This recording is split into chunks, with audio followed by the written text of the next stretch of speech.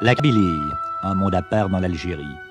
Des montagnes escarpées avec de pauvres villages sur des pitons rocheux, une population qui ne parle pas arabe, des femmes qui ne sont pas voilées, quelques bandes qui tiennent le maquis en rébellion contre le gouvernement de Ben Bella.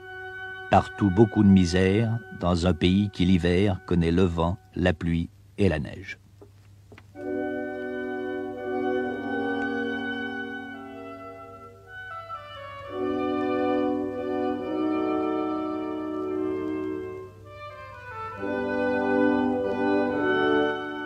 Voici Jean-Claude, un jeune Français de 24 ans.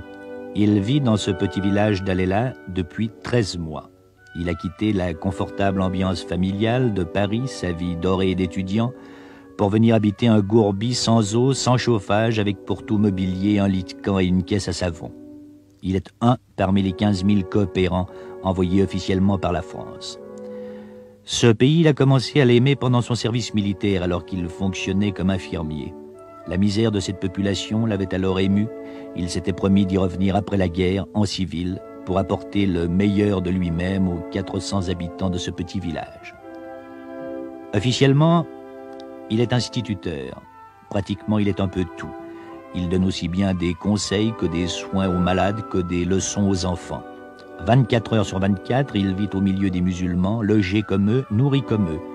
Le seul lien avec son monde à lui, est un petit transistor qui lui permet d'écouter Paris et une vieille bicyclette au pied de la montagne avec laquelle il peut franchir les 30 kilomètres qu'il sépare de la capitale Tizi Ouzou. Son école, c'est un ancien poste d'observation de l'armée française. Ses élèves, une centaine de garçons et de filles qu'il a divisés en deux classes, l'une du matin, l'autre de l'après-midi. Le soleil est caché. Où il est caché le soleil? Où? C'est dur la vie ici euh, La vie, euh, oui, sur le plan quotidien, c'est un peu difficile. Sur le plan matériel, évidemment, c'est très précaire. Il n'y a rien du tout. Il n'y a pas d'eau, il n'y a pas d'électricité. Il, y a... il, faut, il faut se débrouiller. Il n'y a même pas de quoi se ravitailler. En fait, il faut aller tout chercher Tizi Ouzou et il faut se débrouiller. Quoi. Mais ça, c'est assez secondaire. Euh, autrement, il y a le problème de la solitude, évidemment, de rester toujours seul, de parce que les gens sont très gentils, on a des contacts extrêmement amicaux, je suis très intégré ici et ça pose pas de problème de ce côté-là, mais on a besoin de discuter avec des amis de même culture, surtout euh, on a besoin d'échanger des choses, quoi, et on peut pas rester toujours tout seul. Alors il y a certains jours, c'est un peu difficile. Mais j'ai des amis à Tizi Ouzou dans le secteur et quand j'en ai marre, je vais les voir, quoi.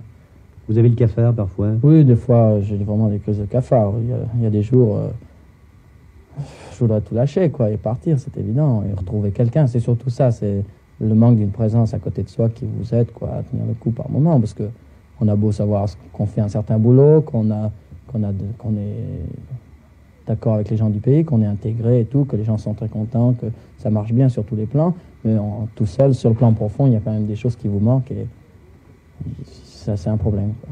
Vous êtes attaché à tous ces gosses?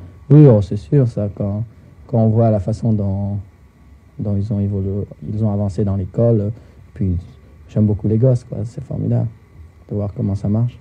Puis même avec les gens, je vois, ces gens sont tellement extraordinaires, ils, ont, ils vivent dans une grande, très grande misère. Pour certains n'ont absolument aucune ressource d'argent, ils se débrouillent avec un petit lopin de terre, ils tirent quelques ressources avec des oliviers, des figuiers, mais c'est vraiment très très précaire. il suffit que les, les olives ne marchent pas comme cette année pour que ce soit quand même presque un désastre pour eux. Quoi. En tout cas, ça pose des tas de problèmes. Et alors, euh, ils sont d'une gentillesse et ils ont un sens de l'hospitalité extraordinaire. Et moi, en fait, ce que je leur donne, je leur donne ce que je peux leur donner et eux, ils me le rendent euh, mille fois. quoi. C'est mmh. formidable. Par, mais par des petits riens, des gestes, des choses.